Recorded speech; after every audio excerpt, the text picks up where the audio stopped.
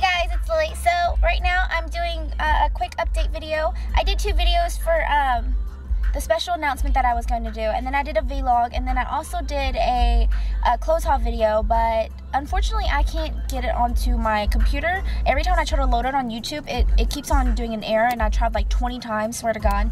But um, so I'm just gonna do a quick update. Um, I'm gonna do another clothes haul soon, and then I have a special announcement from Folica, F-O-L-I-C-A. They sent me two new items that I should try out for you guys, and I'm so excited to do that.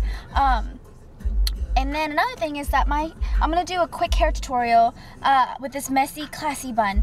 Um, I wanted to just try something new. I've never done this before. This is the first time I've ever done anything with my bun in my hair.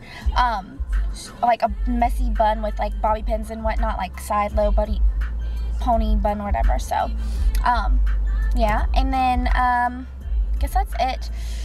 trying to think.